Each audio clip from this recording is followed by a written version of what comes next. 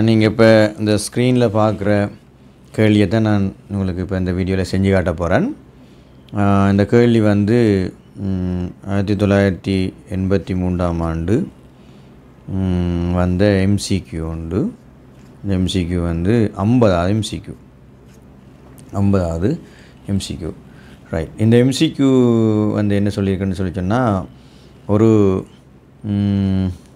ஒரு மொ- ஒரு ஒரு இதுக்குள்ளே அதாவது ஒரு நீர் கொண்ட முகவைக்குள்ளே ஒரு பனிக்கட்டி ஒன்று உள்ளுக்குள்ளே இருக்குது.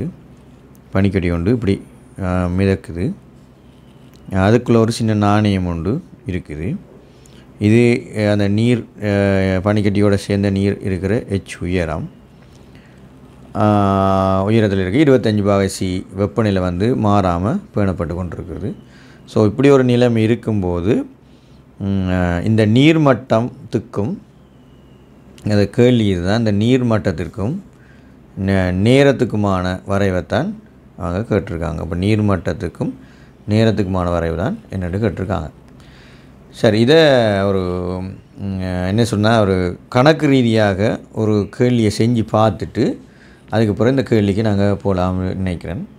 ஏன்னா ஒரு ஒரு கணித அடிப்படையில் இதை பார்த்தோம்னு சொல்லி சொன்னால் இதை விளங்கிக் கொள்வது ஈஸியாக இருக்கும். இல்லைண்டா இந்த பனிக்கடியில் அடர்த்தி குறைவு நீரிண்ட அடர்த்தி கூட அஹ், அதுலேருந்து இது கழிப்படுது அப்படின்னு சொல்கிறது வந்து உங்களுக்கு கஷ்டமாக இருக்கும். ஸோ ஒரு கணக்கை நாங்கள் கணித ரீதியாக பார்ப்போம். உதாரணமாக ஒரு ஐம்பது கிராம் பனிக்கட்டி உண்டு. பனிக்கட்டி உண்டு. என்ன சொன்னால் பகுதியாக பகுதியாக சுயாதீனமாக அமிழ்ந்து மிதக்குது. சுயாதீனமாக அமிழ்ந்து அமிழ்ந்து மிதக்கின்றது. எந்தவித பிரச்சனையும் தண்டவாளில் அமிழ்ந்து மிதக்குது. இப்போ பனிக்கட்டியினுடைய அடர்த்தியை பார்த்தோம்னு சொன்னால் பனிக்கட்டியினுடைய அடர்த்தியை பார்த்தோம்னு சொன்னால் பனி கட்டியின் அடர்த்தி அடர்த்தி பார்த்தோம்னா சைவர் தசம் ஒம்பது ஒரு கிராம் சென்டிமீட்டர் மைனஸ் த்ரீயில் நான் வச்சுக்கொள்கிறேன் அதே நீரின் அடர்த்தி அடர்த்தி ஒரு கிராம் சென்டிமீட்டர் கணத்துக்குள்ளே வச்சுக்கொள்கிறேன் நான். இந்த கிராம் இருக்கிறபடியால் நான் இந்த அடிப்படையில் இப்படி இதை எடுத்திருக்கேன். இப்போ முதலாவது கேள்வி எப்படின்னு சொன்னால் பார்ப்போம் முதலாவது கேள்வி வந்திருக்குதுன்னா பனிக்கட்டி இப்போ உதாரணமாக இது என்ன நடந்திருக்குன்னு சொன்னால் இப்படி ஒரு பனிக்கட்டி. வேறு ஒன்றுமே இல்லை முகவைக்குள்ளே நீர் இருக்குது. பனிக்கட்டி போய் இப்படி அமிழ்ந்து மிதக்குது. இவ்வளோதான் இந்த விஷயம். இதுக்குள்ளே நீர் இருக்குது. அமிழ்ந்து மிதக்குது.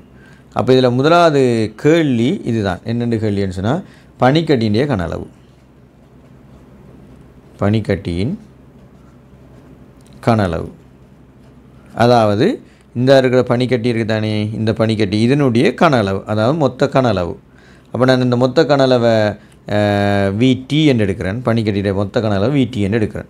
இப்போ தானே பனிக்கட்டியுடைய மொத்த கன அளவு சொல்கிறேன் விடி என்று எடுக்கிறேன். அப்போ இந்த விடி என்னன்னு சொன்னால் அடர்த்தி சார்பாக நான் செய்ய பார்க்குறேன். அட அப்போ அடர்த்தி என்ற அடர்த்தி அதை பனிக்கட்டியோட அடர்த்தி சரிதானே? அடர்த்தி வந்து திணிவின்கள் கன அளவுன்னு போடுறேன் அப்போ அதுக்கு தான் விடி என்று போட்டேன்னா. அப்போ விடி பனிக்கடிகிற கன வந்து மொத்த கனளவு டீ டி அப்போ இதில் அடர்த்தி வந்து எங்களுக்கு ஏற்கனவே தெரியும். சைவரசம் இது. அப்போ தினியும் தெரியும். ஐம்பது கிராம் எடுத்து பனிக்கடியில் அப்போ ஐம்பது கிராமையே போடுறேன். அப்படியே ஒம்பது ஒன்று கிராம் சென்டிமீட்டர் மைனஸ் த்ரீன்னு போடுறோம் அப்போ வீட்டி எங்களுக்கு வருது.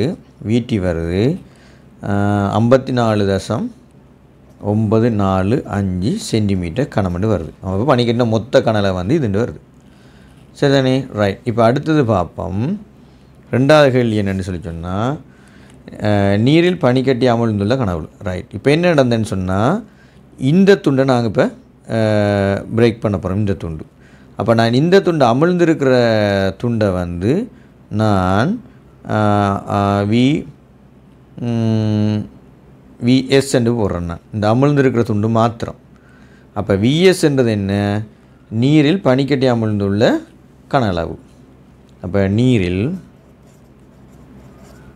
நீரில் பனிக்கட்டி அமு அமுழ்ந்துள்ள கன அளவு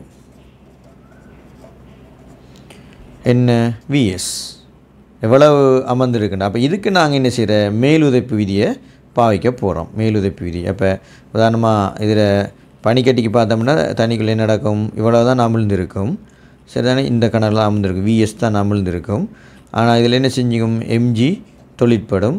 மேலே இதே இடத்துல என்ன இருக்கும்? ஜூ இருக்கும். அப்போ இதில் நாம் ரெண்டையும் சமப்படுத்தினோம்னா யூ சமன் எம்ஜி மேலுதைப்பு எம்ஜி அப்போ நான் என்ன செஞ்சுருக்கிறேன்?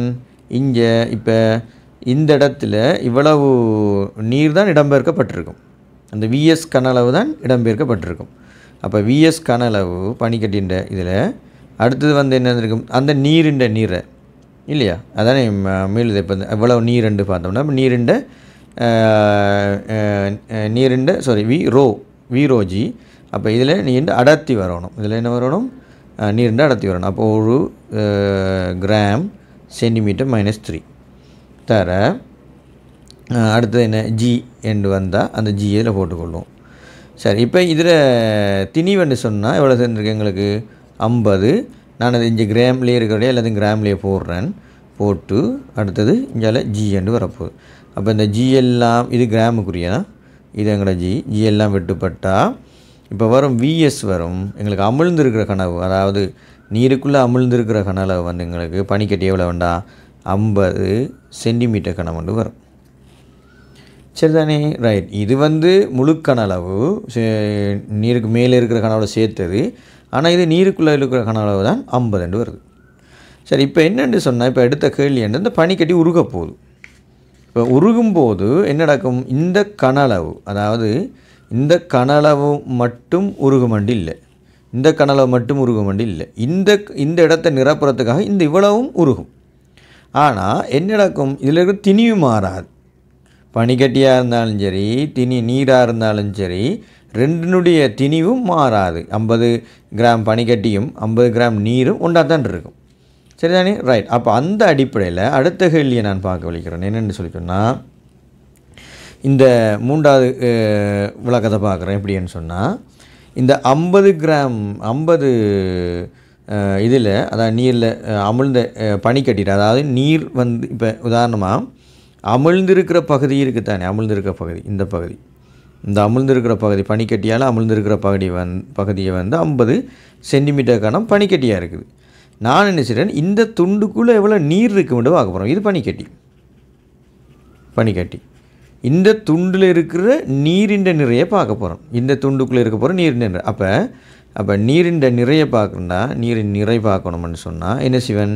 இது கனளவு சரி. இது கனளவு சரி. இந்த கனளவு தான் இருக்க போகுது நீர். ஆனால் அதில் அடர்த்தி வந்து என்ன வரும்? நீரின் அடர்த்தியை நான் போடணும். அப்போ இதில் வந்து ரோ வந்து நீரின் அடர்த்தியை போடணும். போட்டால் தான் இதனுடைய நிறைய நாங்கள் கணிச்சு கொள்ளக்கூடிய மாதிரி இருக்கும். ஆகவே நான் வந்து ஐம்பது தர ஒன்று கிராம் சென்டிமீட்டர் மைனஸ் த்ரீ ஏற்கனவே சென்டிமீட்டர் தான் நெஞ்சால் இருக்குது. அது ஐம்பதுன்றது. ஆகவே அதுவும் காணாம். ஆகவே எனக்கு என்ன வரப்போகுது? ஐம்பது கிராம் நீர் இருக்கும். நீர் தேவை அதில். நீர் தேவை. நீர்ன்ற நிற அந்த துண்டு மொத்தமாக இதுக்குள்ளே இருக்கிறது ஐம்பது கிராம் நீர் தான் வரும் அதில். ஆனால் இந்த ஐம்பது கிராம் நீர் இந்த இதில் இருக்கிற ஐம்பது கிராம் நீர் சரிதானே? ஐம்பது கிராம் நீர் வந்து எவ்வளோ பனிக்கட்டி ஆகும் இது ஐம்பது கிராம் நீர் தானே? இந்த நீரை நான் என்ன செய்கிறேன் திருப்பி நாலா ஸ்டெப்பில் இதை பனிக்கட்டியாக்க போகிறேன் சரிதானே அப்போ இதில் ஒரு ஒரு விஷயம் இல்லை. ஐம்பது கிராம் நீர் தான் இருக்கும்.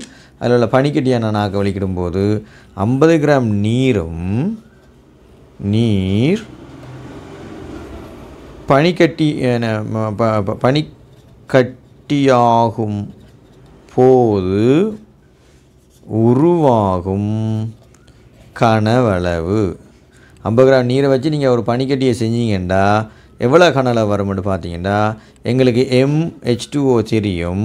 ஆனால் எவ்வளவு? ரோ வந்து என்ன பனிக்கட்டிற ரோ. பனிக்கட்டிற ரோ. ஏன்? அடர்த்தி மாறும் பனிக்கட்டி. தர கனளவு என்ன இருக்க போகுது? கனளவு வந்து தான் காணப்போகிறோம் அதாவது பனிக்கட்டிட்ட கனளவு பனிக்கட்டியில் கனளவு அதாவது டோட்டல் கனளவு வரும். ஆகவே இது ஐம்பது கிராம் வந்துட்டு பனிக்கட்டிட நிறையன்னு பார்த்தீங்கன்னு சொன்னால் இது அடர்த்தி பார்த்தீங்கன்னா சவரசம் ஒம்பது ஒரு கிராம் சென்டிமீட்டர் மைனஸ் த்ரீ என்பது வருது. ஸோ வி கனளவு கனளவுன்றது என்னது? கனளவு இது பனிக்கட்டிட கனளவு அப்போ இப்போ இதை பிரிச்சிங்கன்னா ஐம்பத்தி நாலு தசம் ஐம்பத்தி நாலு தசம் ஒம்பது நாலு அஞ்சு சென்டிமீட்டர் கனமாக இருக்கும். இது வி கனளவு பனிக்கட்டி. இப்போ இந்த இந்த விடையும் ஆரம்பத்தில் நாங்கள் மொத்தமாக கணிச்ச பனிக்கட்டு நீரையும் சமனாக இருக்குது ஆகவே இது உருகி உருகி உருகி உருகி வந்தாலும் எவ்வளவுதான் உருகி இருந்தாலும் இதண்ட நிலை எப்படி இருக்கும்னு சொல்லிச்சுன்னா இதில் நிலை நிலை எப்படி இருக்கும்டா இதில் எந்த மாற்றத்தையும் ஏற்படுத்த மாட்டாது. ஏன் கனளவு மாறலை அதே கனலவை தான் நாங்கள் பனிக்கட்டியில் போட்டு நாங்கள் இது செஞ்சுருக்கிறோம் ஸோ அப்போ இந்த இந்த கிராஃப் முதலாவது கிராஃபில் முதலாவது கேட்ட கேள்வியை வந்து நாங்கள் பார்த்தோம்னு சொன்னால் நாங்கள் அந்த அமிழ்ந்து சுயாதீனமாக மிதக்கிற ஒரு பனிக்கட்டிக்கு நாங்கள் டீ அடிப்படையில் நேரத்தை பார்த்து இதில் என்ன சொல்கிறது உயரத்தை நாங்கள் பார்த்தோம்னு சொன்னால் அது என்ன செய்யாது? எவ்வளவு உயரம் தண்ணி இருந்ததோ அதே அளவில் இருந்து கொண்டே இருக்கும். நேரம் போக போக போக அப்படி இருக்கும். இதில் எந்த மாற்றம் வராது. காரணம் என்ன சொன்னால் அது அமிழ்ந்து சுயாதீனமாக மிதக்கும்போது இங்கே இருக்கிற யூவும் இங்கே இருக்கிற யூவும் இங்கே இருக்கிற எம்ஜியோட சாப்பிடும் போது ஒவ்வொரு இடத்துலையும் என்ன செய்யும்? கரைஞ்சி கரைஞ்சி கரைஞ்சி. இந்த இவ்வளவு இடத்தையும் நீரால் நிரப்பணுமாக இருந்தால் இதுவும் உருகீருக்குள்ளே வரணும். வந்து என்று சொல்லி சொன்னால் எங்களுக்கு வந்து இது அப்படியே மாறாமலேயே இருந்து கொண்டே இருக்கும். இது உயர உயர உயர வரும். இதுக்குள்ளே நாணயம் இருக்குது என்ற விஷயம் வந்து இங்கே சொல்லப்படுது. ஆகவே நாணயம் இருந்தாலும் அதன் கனளவை வந்து இது எடுத்துக்கொள்ளும். இது ஓரளவு சிட்டிய பெருமானமாக இருக்கிறபடியால் எங்களுக்கு பெரிய பாதிப்பை இது ஏற்படுத்தாது. ஆகவே கிராஃப் வந்து எங்களுக்கு இப்படி ஒரு கிராஃப் தான் வரும். இது இந்த கேள்விக்குரிய விடை வந்து இதில் எங்களுக்கு நாலாவது விடையாக இருக்கும். நீங்கள் இப்போ ஸ்க்ரீனில் அந்த விடையை பார்க்கக்கூடிய மாதிரி இருக்கும். விடை வந்து விடை நாலாவது விடையாக இருக்குமாறாக போகும். அது ஸ்க்ரீனில் இந்த விடையை பார்ப்பீங்க.